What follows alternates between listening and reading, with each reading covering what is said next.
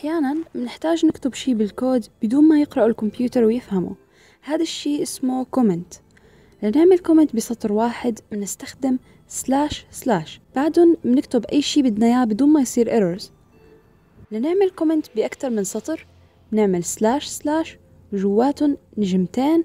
بين النجمتين فينا نكتب أي شي بأي عدد من الأسطر. في شي بال C plus plus اسمه variables يعني متغيرات. نستفيد منهم إنه فينا نعطيهم اسم محدد وبعدين نضلنا نغير بقيمتهم جوا ال program.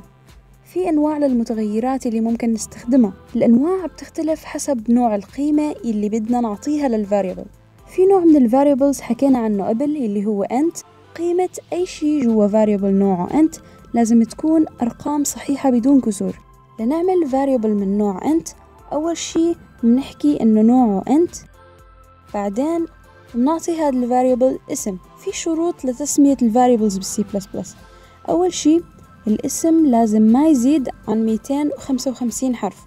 لازم يبدأ بحرف أو underscore بعده فيكن تستخدموا أرقام وأحرف وأندرسكورات أي رمز تاني غير ال underscore حتى ال space بصير في error لو الاسم يلي اخترتوه متكون من كلمتين خلوا أول كلمة small letter مثلا cat تاني كلمة خلوها تبلش ب capital letter مثلا number وفي طريقة تانية كمان أنكم تحطوا underscore بين الكلمتين.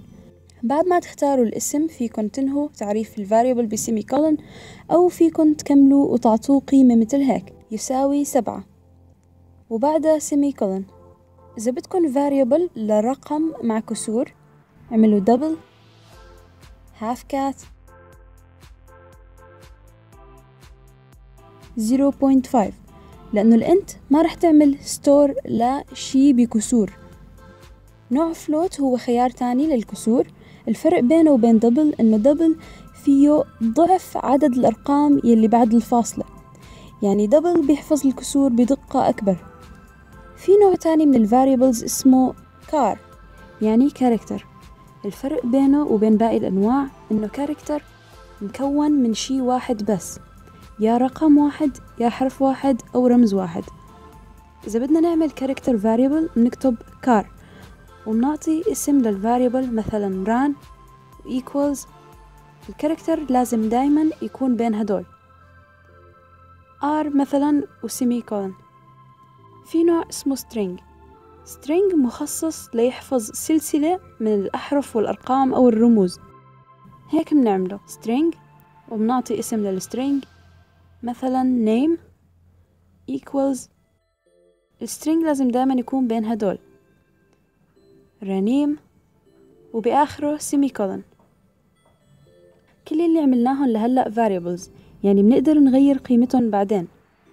لنعمل شي ما بيتغير قيمته بنستخدم constant. بس بنكتب قبل النوع const وهيك بصير ما يتغير. وإذا حاولنا نغيره بعدين بالبروجرام بصير عنا error. في نوع اسمه bool. من بوليان هذا النوع بيحفظ true أو false. 1 يعني true 0 أو أي شيء غير 1 يعني false للكمبيوتر. boolean بس له خيارين صح أو خطأ. بنحتاجه بعدين لنخير المستخدم بين شغلتين مثلا. لنعمل boolean variable اكتبوا bool عطوا اسم لل variable مثلا is it true equals. وهون لازم بس تكتبوا true. أو 1 الاثنين نفس المعنى أو الخيار الثاني false أو 0 أو أي شيء تاني غير 1 رح يكون معناها false.